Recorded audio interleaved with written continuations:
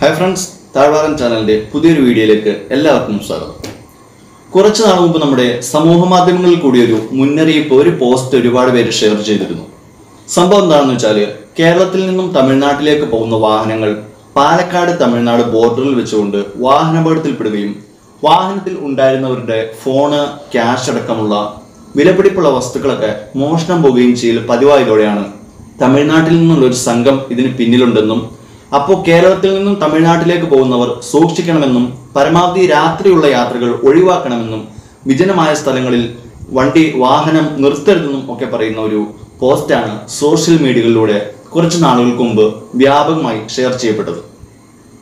എന്തായാലും കേരളത്തിൽ നിന്നും തമിഴ്നാട്ടിലേക്ക് പോയ ആളുകൾ പ്രത്യേകിച്ച് യുവാക്കൾ പാലക്കാട് തമിഴ്നാട് ബോർഡറിൽ വെച്ച് വാഹനാപകടത്തിൽപ്പെട്ട് മരിക്കുന്ന സംഭവങ്ങൾ സ്ഥിരമായതോടെയാണ് ഇതുമായി ബന്ധപ്പെട്ട് പോലീസ് ഒരു അന്വേഷണം നടത്തിയത്.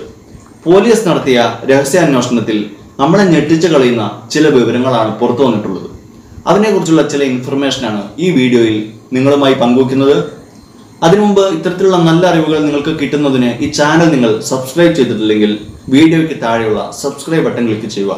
ചാനലിൽ പുതിയ വീഡിയോസ് അപ്ലോഡ് ചെയ്യുമ്പോൾ തന്നെ നിങ്ങൾക്ക് നോട്ടിഫിക്കേഷൻ ലഭിക്കുന്നതിന് ബെല്ലൈക്കൺ കൂടി അമർത്തുക.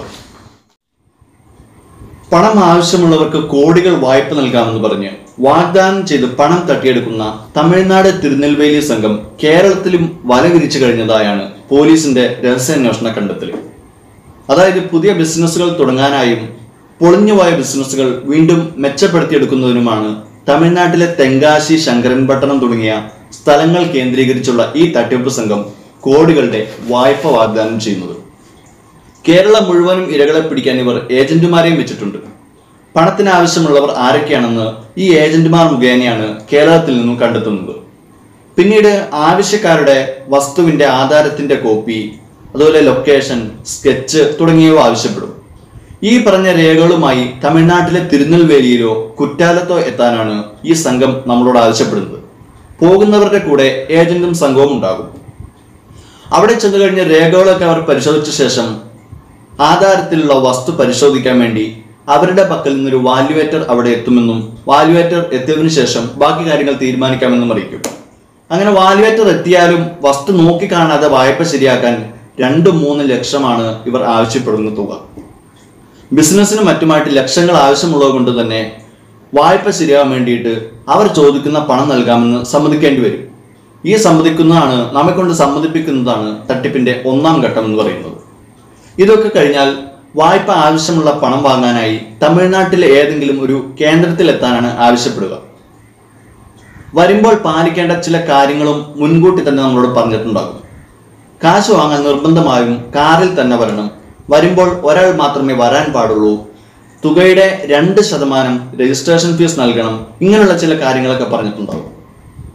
തിരുനെൽവേലിയിൽ ഏകദേശം ഒരു പതിനേഴ് രജിസ്ട്രേഷൻ ഓഫീസുകൾ വഴി പണം ഇടപാടിന് രജിസ്റ്റർ ചെയ്യാം. രജിസ്റ്റർ ചെയ്യുമ്പോൾ തന്നെ ആവശ്യക്കാര് ആവശ്യക്കാരുടെ ബാങ്ക് അക്കൗണ്ടിലേക്ക് പണം കൈമാറുമെന്നാണ് കരാറിൽ പറയുന്നത്. ഇനിയാണ് മെയിൻ തട്ടിപ്പ് നടക്കാൻ പോകുന്നത്. രണ്ട് രീതികളാണ് തട്ടിപ്പിനായി ഈ കൊള്ളസംഘം ആസൂത്രണം ചെയ്തിരിക്കുന്നത്. വായ്പ ആവശ്യമുള്ള ആൾ കാശുമായി എത്തിയെന്നറിഞ്ഞാൽ രജിസ്ട്രേഷൻ ഓഫീസിലേക്ക് പോകാമെന്നറിയിക്കും. പിന്നീട് ചെയ്യുന്നത് ഇയാൾ പോകുന്ന ഈ വാഹനത്തെ വഴി മാറ്റിവിടലാണ്. അങ്ങനെ വഴി തിരിച്ചുവിട്ട് വിജനമായൊരു പ്രദേശത്തെത്തുമ്പോൾ നേരത്തെ തയ്യാറാക്കി ഇവർ നിർത്തിയിരിക്കുന്ന ഗുണ്ടകളുമായി എത്തി പണം തട്ടിയെടുത്ത് സ്ഥലം വിടും. ഏതെങ്കിലും രീതിയിലുള്ള എതിർപ്പ് പ്രകടിപ്പിച്ചാൽ കത്തിയും തോക്കുമടക്കമുള്ള ആയുധങ്ങൾ എന്തിയ ഗുണ്ടകൾ നമ്മളെ അപായപ്പെടുത്തും എന്നുള്ള കാര്യം ഉറപ്പാണ്. അതുകൊണ്ട് തന്നെ ജീവനിൽ പേടിയുള്ളവർ ഒരെതിർപ്പിനും നിൽക്കുകയുമില്ല. ഒരു പരിചയമില്ലാത്ത സ്ഥലത്ത് ഒരാളുമില്ലാത്ത പ്രദേശത്ത് ഒറ്റയ്ക്ക് പോകുമ്പോൾ ഒരു സംഘം അക്രമികൾ ചേർന്ന് വളഞ്ഞാൽ നമുക്കൊന്നും ചെയ്യാനുമില്ല എന്നതാണ് വാസ്തവം. അപ്പോൾ ഇതാണ് തട്ടിപ്പിന്റെ ഒന്നാമത്തെ രീതി. അല്ലെങ്കിൽ വേറൊരു രീതിയാണ്. മറ്റു രീതി എന്ന് പറയുന്നത് രജിസ്ട്രേഷൻ ഓഫീസിലേക്കാണെന്ന് പറഞ്ഞ് വഴി മാറ്റിവിട്ട ശേഷം കാശുമായി എത്തുന്ന വാഹനത്തെ ഏതെങ്കിലും ഒഴിഞ്ഞ ആളൊഴിഞ്ഞ സ്ഥലത്തെത്തുമ്പോൾ ലോറിയോ അതുപോലത്തെ ഏതെങ്കിലും വലിയ വാഹനങ്ങളൊക്കെ ഉപയോഗിച്ച് ഇടിപ്പിക്കലാണ്. അങ്ങനെ ഇടിപ്പിച്ച് അപകടത്തിൽപ്പെട്ട് മരണത്തോട് മല്ലടിച്ച് കിടക്കുന്നവരുടെയും പണവും വിലപിടിപ്പുള്ള വസ്തുക്കളും തട്ടിയെടുത്ത് ഈ സംഘം സ്ഥലം വിടും കേരളത്തിൽ നിന്നും തമിഴ്നാട്ടിലേക്ക് പല ആവശ്യങ്ങൾ പറഞ്ഞു പോയ യുവാക്കളിൽ കുറെ പേർക്ക് പാലക്കാട് തമിഴ്നാട് ബോർഡറിൽ വെച്ച് വാഹനാപകടത്തിലൂടെയുള്ള മരണം സ്ഥിര സംഭവമാകാൻ തുടങ്ങു തുടങ്ങിയതോടെയാണ് ഈ ഞെട്ടിക്കുന്ന വിവരം രഹസ്യാന്വേഷണത്തിലൂടെ നമ്മുടെ പോലീസ് വിളിച്ചെടുത്തു കൊണ്ടുവന്നത്. ഇതിനെതിരെ പോലീസ് സ്റ്റേഷനിൽ എന്തെങ്കിലും പരാതി നൽകിയാൽ ജീവൻ പോലും അപകടത്തിലാകുന്ന സ്ഥിതിയാണെന്ന് അറിയാവുന്നതുകൊണ്ട് തന്നെ ഒരാളും പരാതി കൊടുക്കാനും ധൈര്യപ്പെടില്ല. ഇനി ആരെങ്കിലും പരാതി കൊടുത്താലും ഉയർന്ന രാഷ്ട്രീയ പിൻബലമുള്ള ഈ സംഘങ്ങൾക്കെതിരെ പോലീസ് ഒരു ചെറുവിരൽ അനക്കുക പോലും ഇല്ല എന്നതാണ് സത്യം. പണം ആവശ്യമുള്ളവർക്ക് പണം തന്നെ വേണം. മറ്റെന്ത് കിട്ടിയാലും പണത്തിന് പകരമാവില്ല. അത് നമുക്കെല്ലാം അറിയാം.